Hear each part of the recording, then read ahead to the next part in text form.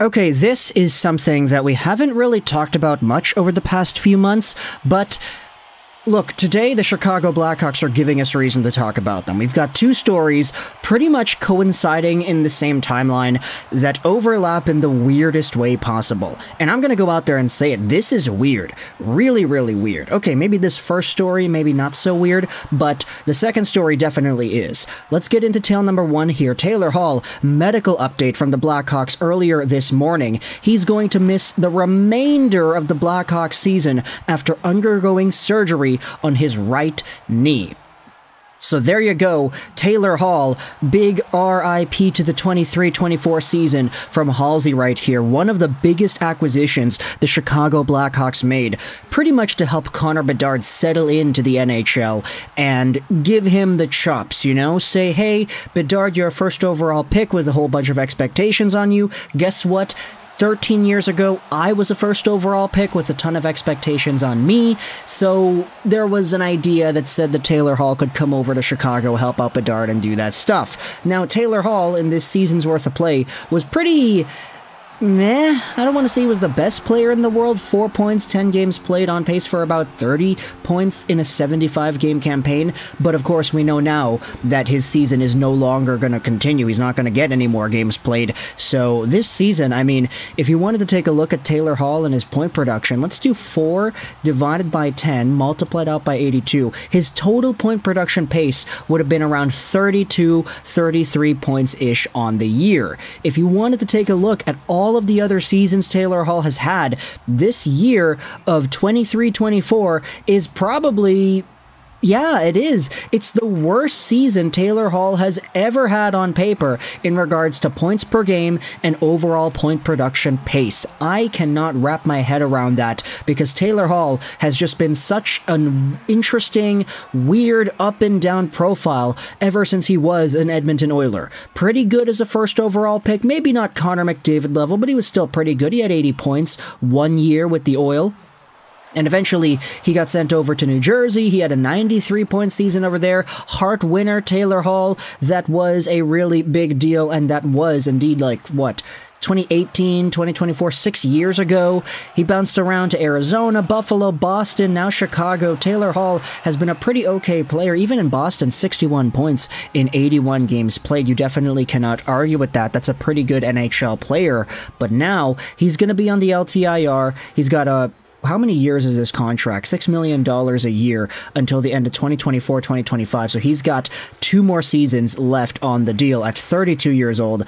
Taylor Hall honestly did an okay job at fulfilling the role he was brought in to do. Like, you definitely saw some of the camaraderie there between Hall and Connor Bedard. Bedard, by the way, just doing absolutely amazing for the Blackhawks if we go over to that real quick, because, hey, you can't go out there mention Taylor Hall without mentioning Bedard. 16 points, 17 games played, and 10 goals on top of that, too. Connor Bedard's on pace for a 48 goal season and 77 points. Screw the 100 point Sidney Crosby comparison. This is a pretty alright season comparative to that, mostly because the Chicago Blackhawks absolutely stink this year. And for Taylor Hall to have been given this role and to not really be able to fulfill it beyond 10 games, that is super unfortunate. Obviously, you don't want to see guys miss out on time, but for Taylor Hall, knee surgery seems to be the real deal here, and it's an unfortunate ending to his 23 24. Now, this was story number one. This was unfortunate, but it's not the weird thing that everybody is focusing on right now. What everybody is talking about instead is another Chicago Blackhawk. It's Corey Perry, who's got 9 points in 16 games played right now. He's on pace for about 45 points, which would be one of the best seasons he has had since his Anaheim days, oddly enough. But Corey Perry, the point production, the role, he has been good. He has been solid this season, especially for the cap hit of four million. Oh my goodness, he's making four million dollars a year. I did not expect that. He's been making such small amounts of money the past few years, one million, seven hundred thousand, etc., etc., that the four million dollars, yeah, that caught me off guard. But either way, Corey Perry making a pretty decent amount of money is providing some pretty decent production. But all of that has come to an end because the other night Corey Perry was actually healthy scratched. And if you take a look at what happened afterwards, This is the update from Ben Pope. Corey Perry, after being healthy scratch due to an organization decision last night, is not practicing with the Blackhawks today. Peter Mrazek isn't either. It's not a very joyous Thanksgiving around these parts. This was from earlier this morning on the 23rd, and if you wanted to talk a little bit more about why Corey Perry is not practicing, here are some quotes that don't make things any better. It makes things worse. Here is what Nick Foligno said about Corey Perry. We just know that he's now here with us. We haven't gotten any details. It's unfortunate. He's a big part of this. We'll miss him. Foligno was also asked on how the Hawks will prevent Perry's absence becoming a distraction. We've got a lot of young guys, so it's kind of a shock at first, but it's being a pro. We talk about it, and this is an opportunity to do that. It's outside the noise that you have to push away. So not only did the Chicago Blackhawks lose out on Taylor Hall, but they've also got Corey Perry not playing and not being a part of practice. And the worst part is the Blackhawks and their team, they don't even know why the case is that he is missing out. Here are some more tweets. Luke Richardson says that the Blackhawks will not provide any details about Corey Perry's situation. Transparency was a big word around the Blackhawks organization with the new regime. I'm sure they have their reasons for being so tight lipped about the Perry situation, but all this does is fuel wild, baseless speculation. Very curious situation here. Here's another tweet. Mark Lazerus says he tried to get Richardson to at least clarify if Perry's situation was asset management for a trade or something disciplinary, noting all the wild speculation that's already out there. Richardson says, I'm sure there is speculation, but unfortunately, I can't give you anything but that today. And that is so strange.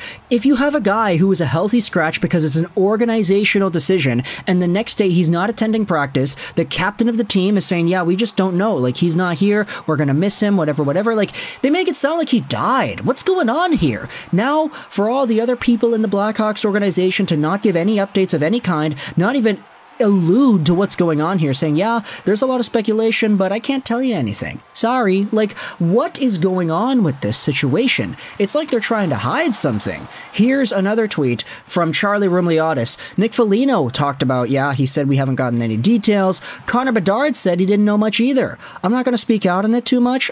Obviously, it sucks he's not here. He's a big part of our team.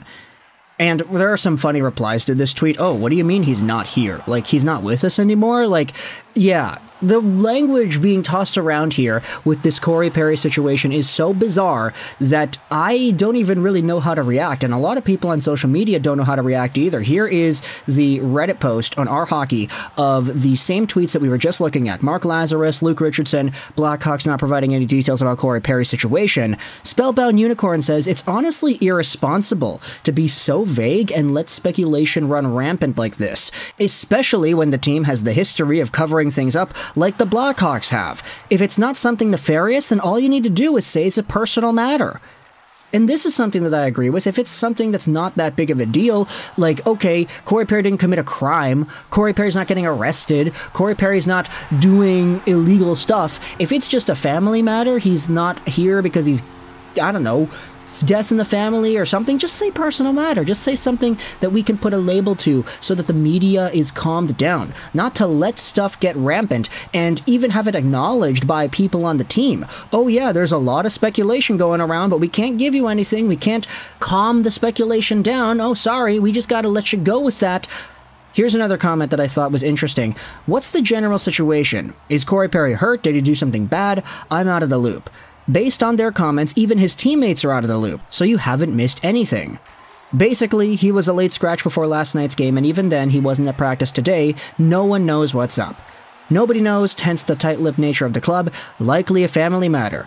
Here's the reply that I think makes sense. If that's the case, I don't understand why you wouldn't just say family matter, and from there refuse to provide any further details out of respect for their privacy. This vague organizational decision makes me believe it's something a bit more sordid, or it's a trade. Who knows? Like, if it is a trade, just go out there and make the trade already. Come on, why are you like holding back on this? So weird. Let me know your thoughts in the comment section below. Firstly, about Taylor Hall getting sidelined for the rest of the season, and secondly, for Corey Perry being an organizational business decision scratch and have him not show up for practice the next day. How weird is this? Do you think I'm overreacting when I'm making this video and talking about it like this? Let me know your thoughts in the comment section below. I hope you enjoyed this video. 99 and bye.